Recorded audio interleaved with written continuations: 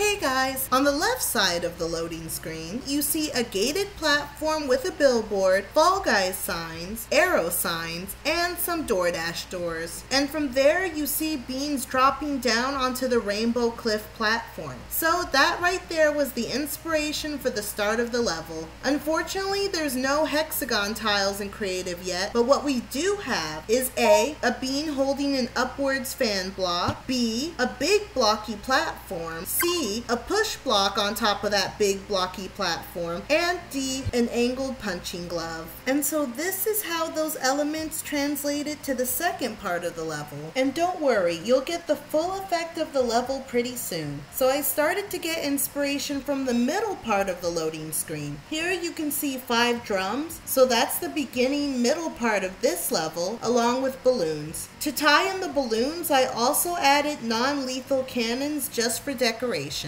From there, I incorporated the rainbow road that you can see in parts of the loading screen.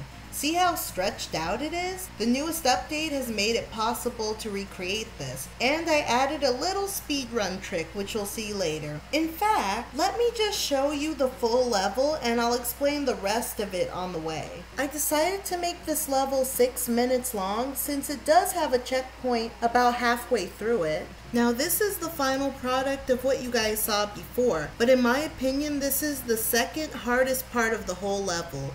I think since the punching glove is both tiny and angled, having even 10 players on this level will be absolutely insane. I'm pretty excited for you guys to play this level. I decided to put a wall at the end of this part of the level because I found another speedrunning strategy that was way too powerful. But speaking of speedrunning, here is the trick that I was talking about earlier. I think I would be using that trick every time I played this level. Now this double bar got inspiration from this part of the loading screen. After you get your checkpoint, you can slide to the crown. Leave a like to help repair that floor crack. The last part of the level was based on this section and this section of the screen. Use the fan to get into the crown Use the spinners and then claim your victory. Here's the code for the level. Farewell and kisses!